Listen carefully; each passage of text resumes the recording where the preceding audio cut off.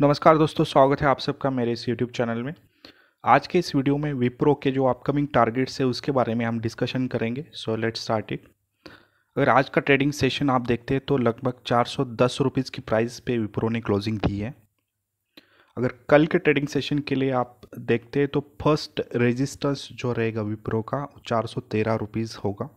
अगर विप्रो इसको क्रॉस करता है, इसके ऊपर निकलता है तो next resistance four hundred twenty five rupees का रेजिस्टेंस है। तो जैसे ही विप्रो इस रेजिस्टेंस को भी ब्रेक करता है तो विप्रो का जो अपकमिंग टारगेट्स है, four hundred forty five rupees तक विप्रो जा सकता है।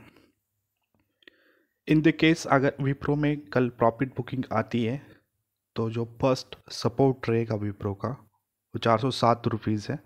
इसके नीचे अगर विप्रो निकलता है तो विप्रो चार सौ रुपीज़ तक प्रॉफिट बुकिंग के लिए आ सकता है।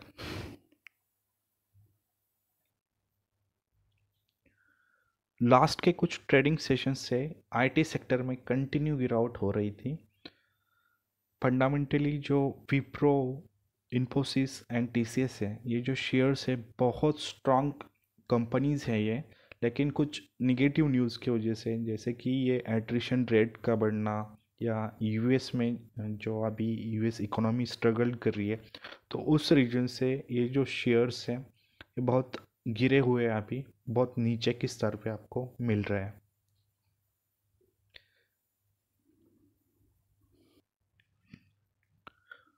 अगर आप विप्रो का 52 वीक हाई देखेंगे तो सात सौ चालीस रुपये का विप्रो ने हाई बनाया था। और रिसेंटली विप्रो का अगर हम लो देखते हैं तो लगभग 384 का लो बनाया था। तो आपने जो ऊपरी प्राइस है, उससे लगभग फिफ्टी परसेंट के डिस्काउंट पे विप्रो शेयर्स अवेलेबल है। तो यहाँ से आप एकोमलेट करना स्टार्ट कर सकते हैं। डबल बॉटम यहाँ पे बन रहा है और कुछ पॉजिटिव डाइवर्जेंस मिल रहे हैं। तो यहाँ से हम आशा करते हैं कि जो आगे का पीरियड्स है एटलीस्ट वन ईयर के लिए यहाँ से एक पॉजिटिव माहौल बना रहेगा। अगर हम टेक्निकल इंडिकेटर्स के बारे में देखते हैं तो इसका जो आरएसआई है डेली फ्रेम पे, इसका जो आरएसआई है लगभग 53 पे ट्रेड कर रहा है और इसका जो मैकटी डाइवर्जेंस है वो पॉजिटिव दिखाई दे रहा है और इसमें कुछ वॉल्यूम भी ऐड हो रहा है। तो एक अच्छे पॉजिटिव संकेत है और जैसे भी आप विप्रो का क्यू टू का रिज़ल्ट जो क्वार्टरली रिज़ल्ट है अनाउंस होने वाला है ट्वेल्थ अक्टूबर को। उसके पहले टेंथ को TCS और इन्फोसिस भी थर्टीन अक्टूबर को अपने रिजल्ट्स देगा। तो एक क्लैरिटी आ जाएगा इस मंथ में फिफ्टीन अक्टूबर तक।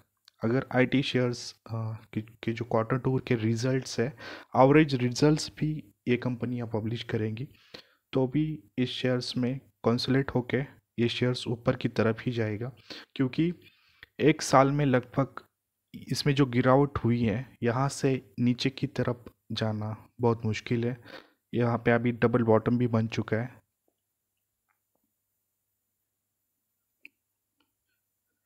तो दोस्तों, मैं आशा करता हूँ कि ये जो वीडियो है, आपको ज़रूर पसंद आई होगी। अगर ये पसंद, ये वीडियो आपको पसंद आई है तो प्लीज़ लाइक, शेयर, कमेंट करना मत भूलिए। Thanks for watching our videos. Bye.